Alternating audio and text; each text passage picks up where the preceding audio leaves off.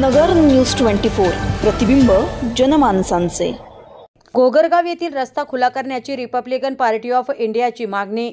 तहसीलदारांचा आदेश असताना आणि एकाने आत्महत्येचा प्रयत्न केलेला असताना देखील प्रशासनाचे दुर्लक्ष. रस्ता खुला होण्यासाठी बावीस फेब्रुवारीपासून उपोषणाचा इशारा. तहसीलदारांचा आदेश असूनही गोगरगाव तालुका नेवासा येथील गट नंबर दोनशे पंचावन्न मधील रस्ता खुला केला जात नसून या त्रासाला कंटाळून एकाने आत्महत्येचा प्रयत्न केलेला असताना प्रशासनाने याची गांभीर्याने दखल घेऊन सदर रस्ता खुला करून देण्याची मागणी रिपब्लिकन पार्टी ऑफ इंडियाच्या आठवले गटाच्या वतीने करण्यात आली आहे. या प्रकरणी रिपाईचे जिल्हाध्यक्ष सुनील साळवे यांच्यासह पीडित कुटुंबीय आणि शिष्टमंडळाने निवासी उपजिल्हाधिकारी राजेंद्रकुमार पाटील यांची भेट घेऊन निवेदन दिले. तर रस्ता खुला न झाल्यास बावीस फेब्रुवारीपासून जिल्हाधिकारी कार्यालयासमोर उपोषण करण्याचा इशारा देण्यात आलाय. यावेळी रिपाईचे शहर जिल्हाध्यक्ष किरण दाभाडे युवक जिल्हाध्यक्ष विवेक भिंगारदिवे नगर तालुकाध्यक्ष अविनाश भोसले महिला जिल्हाध्यक्ष आरती बडेकर उपसरपंच हर्षल कांबळे माया जाधव सतीश साळवे शिवाजी शिरोळे दीपक चांदणे प्रमोद घोडके ग भा शकुंतला कनगरे किरण कनगरे सतीश कनगरे संदेश कनगरे प्राची कनगरे प्रीती कनगरे आदींसह कनगरे कुटुंबीय उपस्थित होते. प्रतिनिधी Nilesh Agarkar Nagar news twenty four Ahmednagar. दलित वस्ती सुधारण्याचा रस्ता. झालाच पाहिजे. तहसीलदारने आदेश केला रस्ता. झालाच पाहिजे. कोण म्हणतो देणार नाही. घेतल्याशिवाय राहणार नाही. अरे रस्ता आमच्या हक्काचा. रिपब्लिकन पार्टी ऑफ इंडियाचा. विजय असो. डॉक्टर बाबासाहेब आंबेडकरांचा. विजय असो. आठवले साहेब तुम आगे हैं. नेवासा तालुक्यातील गोगोरगाव येथे गट नंबर दोनशे पंचावन्नमधील जागेमध्ये तहसीलदार नेवासा यांनी दोन वर्षापूर्वी रस्ता देण्याचा आदेश केला होता. रस्ता देण्याचा आदेश करून सुद्धा तो रस्ता खोला करून देण्यात आला नाही. त्या ठिकाणी तहसीलदार आणि गटविकास अधिकारी यांनी पंचनामा करून कागदोपत्री रस्ता खुला केला असं रेकॉर्ड तयार केलेलं आहे.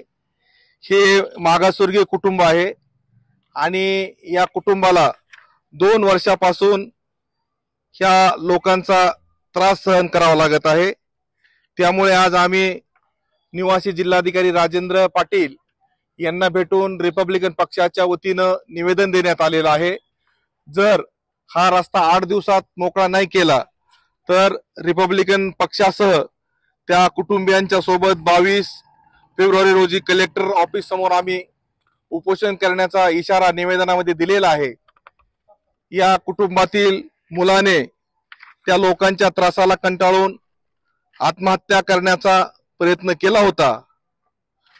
किरण अण्णासाहेब कनगरे याने आत्महत्येचा प्रयत्न केला परंतु आत्महत्याच प्रवृत्त असल्याबाबतचा गुन्हा दाखल पोलिसांनी करून घेतला नाही.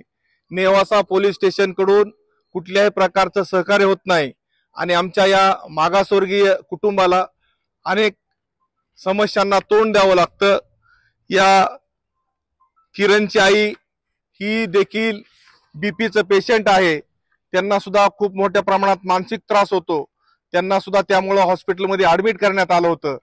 जर या लोकांना आमच्या रस्ता नाही दिला तर रिपब्लिकन पक्षाच्या वतीनं या ठिकाणी उपोषण करून मोठ्या प्रमाणात आंदोलन करण्यात येईल.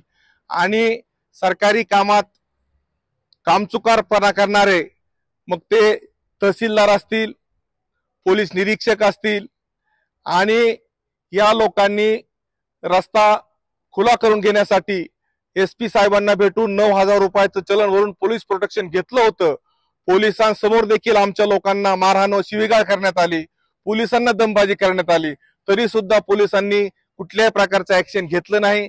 त्या ठिकाणचे तत्कालीन पी आय यांनी ह्या लोकांना तुम्हाला रस्ता मिळू देणार नाही. आर्थिक फायद्यासाठी आमच्या लोकांवर या ज्यांनी ज्यांनी अन्याय अत्याचार केला त्या सगळ्यांची चौकशी झाली पाहिजे आणि त्यांच्यावर गुन्हा दाखल केला पाहिजे ही रिपब्लिकन पक्षाची मागणी आहे. आजच्या या कलेक्टर साहेबांच्या भेटीमध्ये रिपब्लिकन पक्षाचे शहर जिल्हाध्यक्ष किरण दावाडे युवक जिल्हाध्यक्ष विवेक भिंगारदिवे नगरचे तालुका अध्यक्ष पैलवान अविनाश भोसले आमच्या महिला आघाडीच्या जिल्हाध्यक्ष आरतीताई बडेकर अहमदनगर शहराच्या महिला आघाडीच्या शहर जिल्हाध्यक्ष मायाताई जाधव त्याचप्रमाणे सतीश साळवे प्रमोद घोडके आणि सर्व कार्यकर्ते या ठिकाणी मोठ्या संख्येने उपस्थित आहे.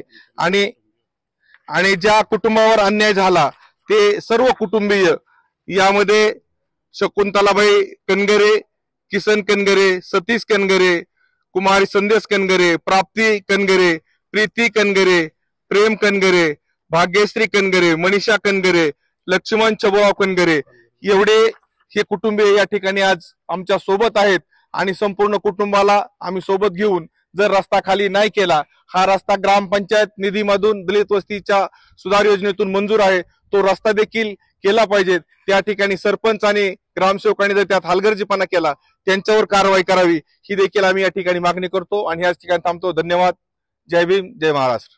नवीन बातम्या आणि ताज्या घडामोडींसाठी आजच आपल्या चॅनलला सबस्क्राईब करा.